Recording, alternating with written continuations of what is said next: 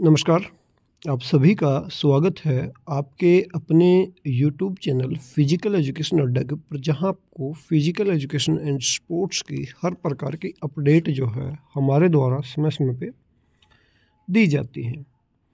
अभी आपको पता है कि दो तीन दिन पहले हमारा जो है हरियाणा पीजीटी फ़िज़िकल एजुकेशन का रिज़ल्ट आया था और जब रिज़ल्ट आया तो जो एच की ऑफिशियल जो वेबसाइट है, उसके ऊपर आपको एक डिटेल्ड रिज़ल्ट मिला था फाइनल रिज़ल्ट नहीं था। डिटेल्ड रिज़ल्ट को आप ऐसे भी देख सकते हो कि जिसमें डिटेल दी गई थी सभी कैंडिडेट की मार्क्स की आप यहाँ पे देखोगे ना roll number wise marks of all candidate for the post of PGT physical education ये एक प्रकार का डिटेल्ड रिज़ल्ट इसलिए मैं इसको कह रहा हूँ क्योंकि इसमें हर कैंडिडेट के डिटेल के बारे में बात की, की गई थी कि किस कैंडिडेट को कितने मार्क्स एग्ज़ाम में मिले हैं।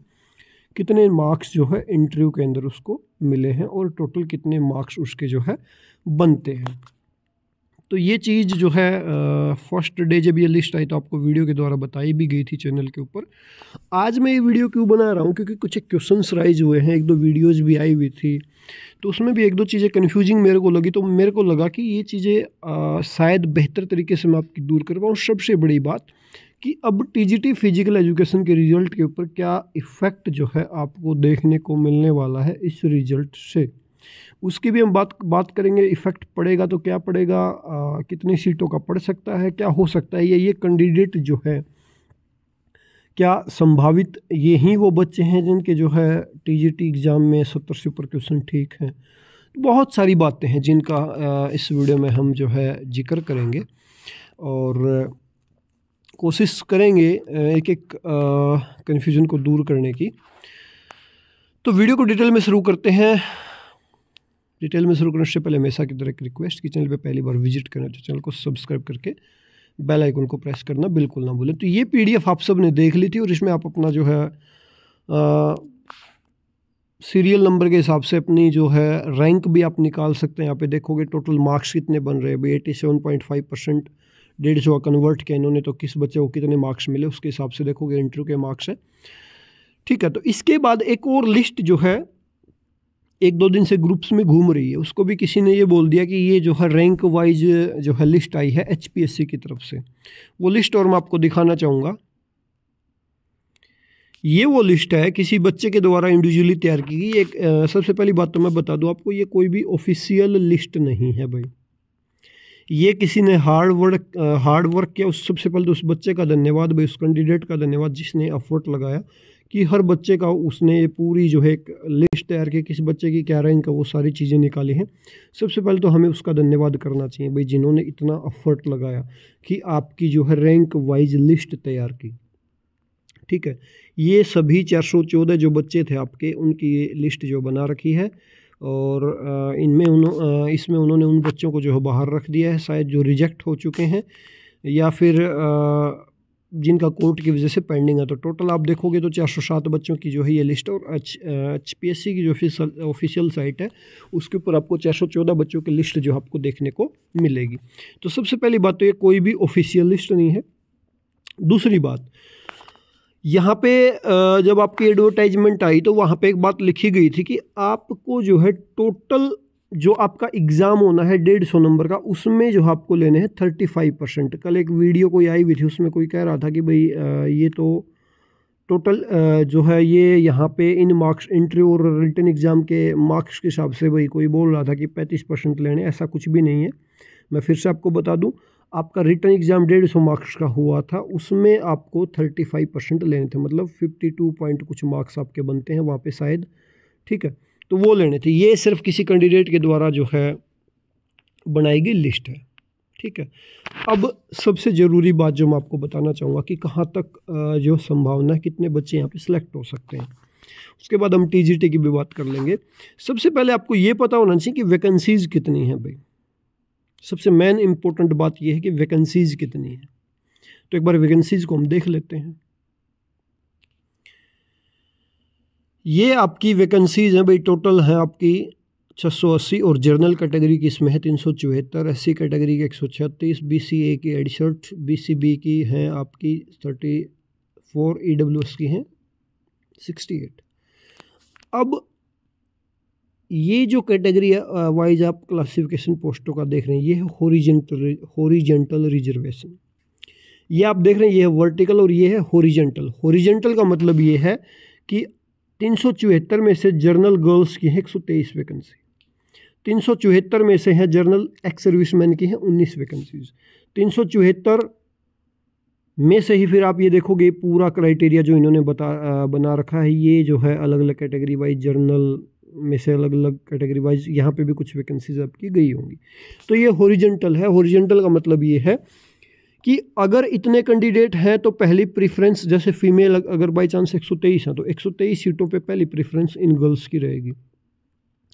इसके बाद एक्स सर्विस मैन अगर उन्नीस है तो प्रेफरेंस इनकी रहेगी। अगर भाई ये जो भी हैं विकलांग कैटेगरी, जो आपकी डिसेबल्ड कैटेगरी हैं, जो भी जर्नल के हिस्से से जो पोस्टें कटेंगी, वो हैं तो पहली प्रेफरेंस इनकी रहेंगी। बाई चांस ये कैंडिडेट ही कम पड़ जाते हैं तो वो फिर मेल कैटेगरी जो अदर बच्चे जर्नल कैटेगरी के लिस्ट में आएँगे, वो सीटें उनको चली जाएँगी। तो ये होता है हॉरिजेंटल और ये है आपका वर्टिकल रिजर्वेशन भाई, ठीक है? तो यहाँ पे आप देखोगे जर्न गर्ल्स भी जो है इतनी ज़्यादा नहीं है कोई काउंटिंग कर रहा था शायद 116 के आसपास है तो बड़ा इशू नहीं है। 116 गर्ल्स ऊपर से लग जाओ चाहे नीचे से लग जाओ, कोई फ़र्क नहीं पड़ना। वो आपकी 116 सीट्स ही ले सकती हैं, ठीक है? वो चार सौ सात की रैंक वाइज आप लिस्ट देखोगे, उसमें वो 116 गर्ल्स से किसी भी कैटेगरी को, कैटेगरी की हों, अच्छे मार्क्स हैं तो डेफिनेटली वो जर्नल कैटेगरी में जाएँगी। तो उससे कोई खास फ़र्क नहीं पड़ेगा भाई। दूसरा एक्स सर्विसमैन इतने हैं नहीं डिपेंडेंट जो बच्चे हैं, वो जर्नल में काउंट कर लो, चाहे अपनी सीट पे काउंट काउंट कर लो, कोई खास फ़र्क नहीं पड़ना। या फिर वी एच कैंडिडेट हैं, जो भी डिसेबल्ड कैंडिडेट उनका भी कोई खास इफ़ेक्ट आपको देखने को नहीं मिलने वाला। ठीक है तो वैकेंसीज बहुत ज़्यादा हैं, चार सौ सात को आप रैंक वाइज देखोगे तो चार सौ सात में से तीन सौ चौहत्तर बच्चों को तो कोई समस्या है ही नहीं। क्लियर कट दिख रही है। तीन सौ चौहत्तर पहले, जो तीन सौ चौहत्तर बच्चे हैं, टॉप, वो आपके जर्नल में चले जाएँगे। यहाँ पे एक शर्त और है, शेड्यूल कास्ट के जो बच्चे होते हैं, उनको स्टेट में शायद एट्टी टू मार्क्स चाहिए होते हैं। अगर किसी बच्चे का स्टेट, शेड्यूल कास्ट से वो है, और उसने 90 से अबो स्टेट में स्कोर नहीं किया 90 या 90 से वो तो वो अपनी कैटेगरी में काउंट होगा, बेशक से उसके, यहाँ पे जो आपका एग्ज़ाम हुआ, रैंक वाइज, उसमें उसमें मार्क्स से उसके सो ही क्यों ना हो। तो संभावना ये है कि पाँच से दस बच्चे भी वहाँ पे चले जाते हैं तो आपके पास स्पेस जो है, बच जाएगा भाई। ये जब आप लिस्ट देखते हो तो यहाँ पे आप देखोगे ना तीन सौ चौहत्तर तक। ये जो लास्ट बच्चा है, Devendra Kumar thirty five point eight two यहाँ तक अगर इससे ऊपर जितने भी जैसे इंदिर कुमार करके एससी कैटेगरी से बच्चा है, देवेंद्र कुमार, ये शेड्यूल कास्ट से बिलोंग करते हैं। अगर इनका स्टेट नब्बे अबो है तो जर्नल में काउंट होंगे। फॉर एग्ज़ाम्पल मेरे को नहीं पता इनका स्टेट में स्कोर कैसा है। कोई भी बच्चा जो तीन सौ चौहत्तर से ऊपर है रैंक वाइज अगर उसमें से किसी बच्चे के मार्क्स स्टेट में नाइन्टी से कम है एट्टी टू और नाइन्टी के बीच है तो वो अपनी कैटेगरी में जाएगा। वहाँ पे एक एक सीक्वेंस फिर ऊपर चलती चली जाएगी। फॉर एग्जांपल तीन सौ चौहत्तर में एससी कैटेगरी के दस बच्चे हैं, और फॉर एग्जांपल, दस बच्चे हैं जिन्होंने 82 और 89 82 से लेके 89 के ऊपर उनका स्टेट है। तो वो दस बच्चे नीचे आएँगे और आगे वाले दस बच्चे जो है, आगे काउंट हो जाएँगे भाई। ठीक है? तो ये एक पूरी सीक्वेंस आपकी रहने वाली है। तो अब सबसे बड़ा क्वेश्चन ये बनता है कि कितने बच्चे ऐसे रह सकते हैं जिनका लिस्ट में नाम नहीं आएगा। मेरे हिसाब से तो कोई नहीं बचेगा भाई। जहाँ तक मेरे को संभावना नज़र आ रही है कि कोई भी जो है यहाँ पे नहीं बचना चाहिए। सभी बच्चों का जो है यहाँ पे सिलेक्शन सौ परसेंट होने की संभावना है।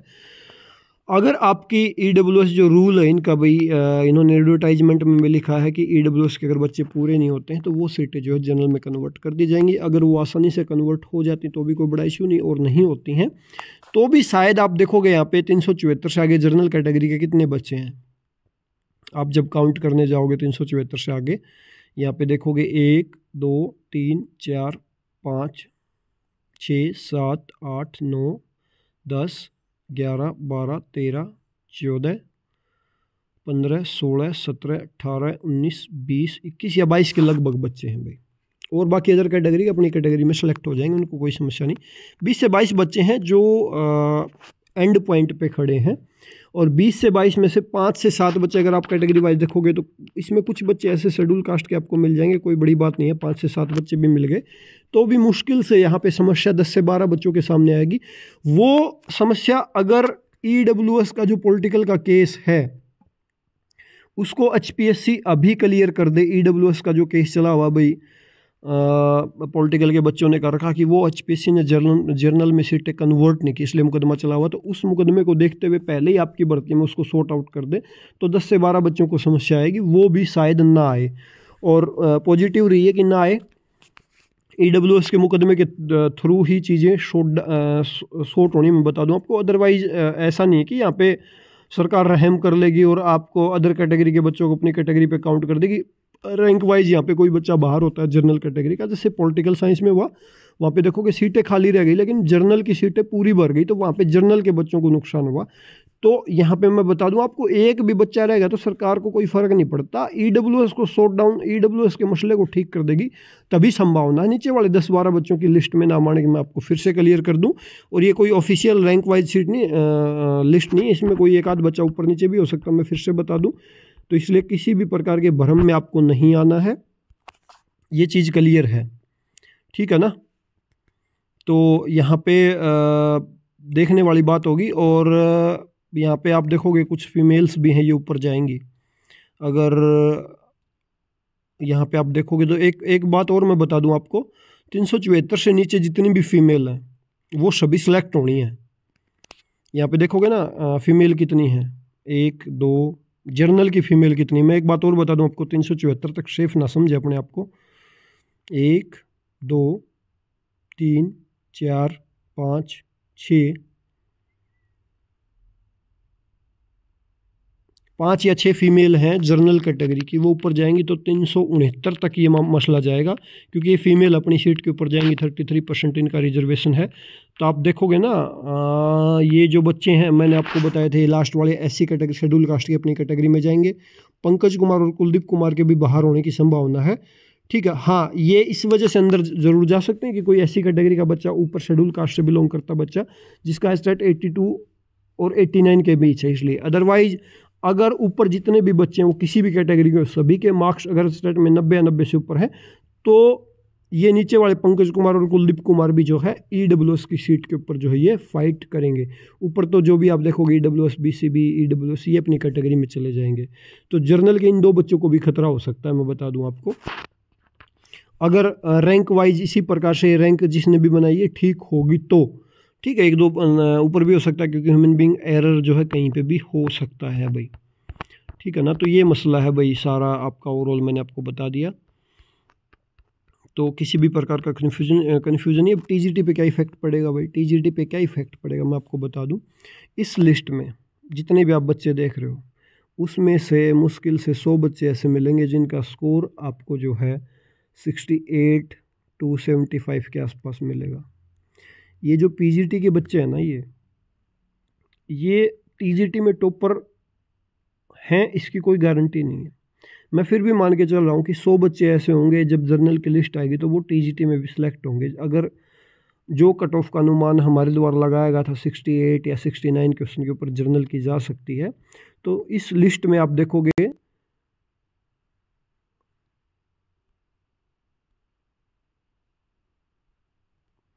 इस लिस्ट में आप देखोगे तो सौ बच्चे आपको मिलेंगे। मेरी संभावना है भाई। बहुत सारे बच्चे ऐसे हैं जो टीजीटी की भर्ती में 55 और आपको 65 के बीच मिलेंगे मैक्सिमम बच्चे। 55 और 65 के बीच। ठीक है? तो ऐसा भी नहीं है कि टीजीटी की पूरी भर्ती ही जो है खाली हो जाएगी, ये लिस्ट अगर लग गई तो। ठीक है? अब भरम ये भी हो सकता है कि ये बच्चे अप्लीकेशन लिख के दे दें तो टी जी टी की कट ऑफ़ नीचे आ जाएगी। पहली बात तो भाई, बहुत कम संभावना होती दूसरे की बढ़क यहाँ पे कोई भी लेना पसंद नहीं करता। एच पी एस सी या H S S C office कोई नहीं जाना चाहेगा, अपनी नौकरी बजाएँगे, अगर ये बच्चों की कल को ज्वाइनिंग भी हो जाती है जनवरी या फेब में तो ये बच्चे स्कूल में अपनी नौकरी बजाएँगे, कोई भी अप्लीकेशन लेके नहीं जाने वाला, ना सरकार हेडक लेने वाली। सरकार चाहे तो अपनी तकलीफ़ में, अपनी खाज में मैं आपको देसी भाषा बताऊँ तो वो सीटें खाली रहेगी तो इलेक्शन से पहले जानबूझ के कट ऑफ़ को नीचे ला के बढ़ सकती है, खाली रहेगी इस वजह से।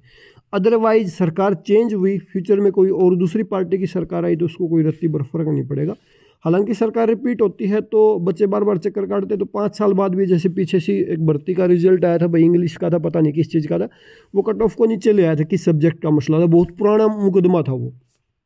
ठीक है तो उस प्रकार से मसला लटक भी सकता है। और यहाँ तक कि मैं आपको बता दूँ ये एप्लीकेशन नहीं भी लिखते हैं तो भी वेटिंग क्लियर होगी तो कन्फर्म लेकिन वो वेटिंग क्लियर होने में भी बहुत टाइम लग जाता है, मैं आपको बता दूँ भाई। इतना आसानी से क्लियर नहीं होती, उसमें भी तीन से चार साल टपा देते हैं ये, खपा देंगे आपकी।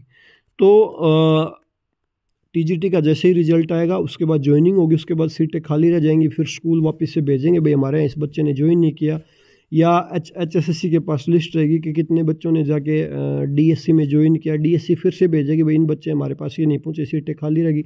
फिर एच एस एस सी के पलड़े में बोल जाएगी, अब एच एस एस सी क्या करेगी? भोपाल खदरी जी क्या करेंगे? तब तक सरकार बचेगी, नहीं बचेगी? बहुत सारे कंसर्न है, भाई, क्या होगा? कुछ कह नहीं सकते। तो टीजीटी के रिज़ल्ट में जो पहली बार में क्लियर हो जाएँगे, जो कट ऑफ़ में आ जाएँगे, वो बच्चे संतुष्टि से सो सकते हैं। अदरवाइज़ अगर आप पहली कट ऑफ़ में नहीं आते हैं या वेटिंग में लटके रहते हैं तो कब क्लियर होगा, कुछ नहीं कह सकते। इंडिया का सिस्टम और इंडिया में हरियाणा भाई, बहुत बुरा हाल है भाई। तो कोई खास मेरे को प्रभाव यहाँ पे नज़र आ नहीं रहा और प्रभाव पड़ता है तो उसको सरकार जो है, सरकार की नीयत में वैसे ही खोटा रहा टीजीटी रिज़ल्ट को लेके तो। हमारे हरियाणा के मुख्यमंत्री वैसे भी उलफिजुल बयान दे रहे हैं भाई, पता नहीं क्या चल रहा है इनके दिमाग में। तो ये पूरा जो है प्रोसेस मैंने आपको समझा दिया भाई, जो भी है। ठीक है ना? तो जो हमारा ऑफिशियल रिज़ल्ट है फाइनल वो भी एक दो दिन में आ जाएगा। मे भी आज शाम तक आए या कल आए। वैसे मंडे को आ सकता था, लेकिन नहीं आया। तो ये वीडियो मैं ट्यूसडे को बना रहा हूँ तो हो सकता है आज या कल में हमारा रिज़ल्ट जो है, आ जाए। अभी अभी के लिए इस वीडियो में इतना ही। वीडियो को आपने लास्ट तक देखा, इसके लिए आप सबका बहुत बहुत धन्यवाद। Thank you